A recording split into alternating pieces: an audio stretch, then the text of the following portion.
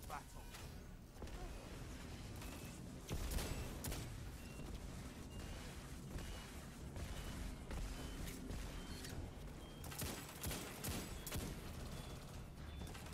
Yes!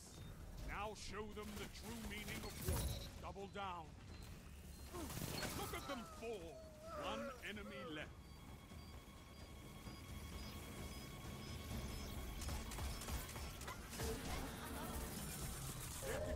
Charge.